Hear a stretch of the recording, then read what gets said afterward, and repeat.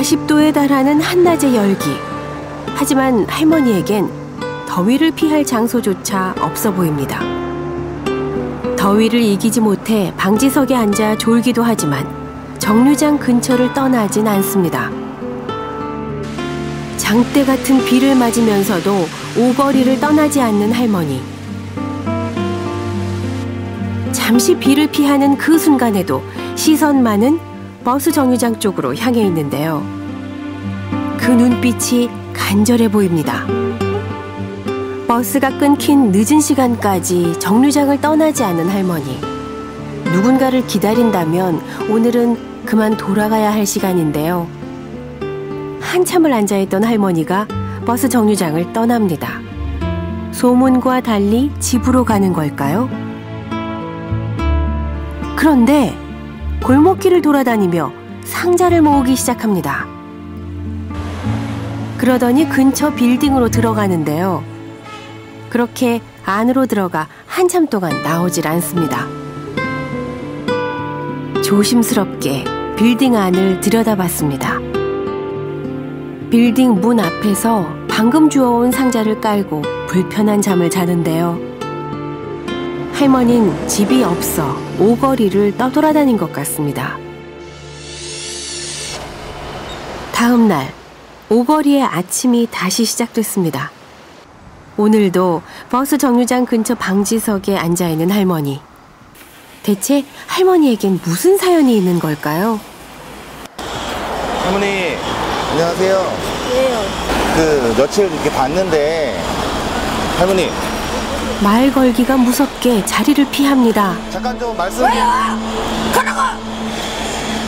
할머니 그저 인사만 했을 뿐인데 불같이 화를 냅니다. 잠시만요 차 차 차 차 차 위험하게 무단 횡단까지 하며 자리를 피한 할머니가 간 곳은 다름 아닌 경찰차입니다. 아무래도 큰 오해를 하고 계신 것 같습니다. 도움이 필요한 것 같아 말을 걸었을 뿐인데 왜 이토록 싫어하는 걸까요? 승희교회 저기 집사인데 선생님이 잡으러 온다고.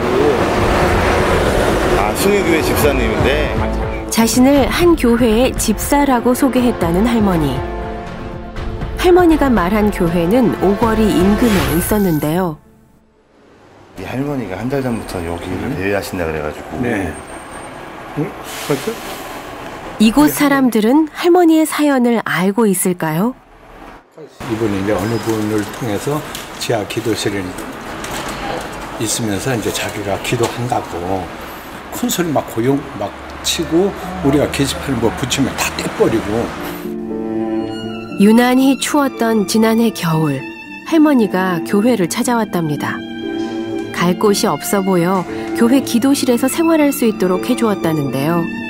그런데 어느 날부터 이상한 행동을 하기 시작했답니다. 말릴수록 더 크게 화를 냈다는데요. 올해 71세라는 할머니는 교회 사람들에게 집도 가족도 없다고 말했답니다. 어떻게든 도움을 주고 싶었지만 할머니가 강하게 거부하며 교회를 떠났다는데요. 그러니까 할머니는 교회를 나온 이후 쭉 거리에서 지내는 중인 겁니다.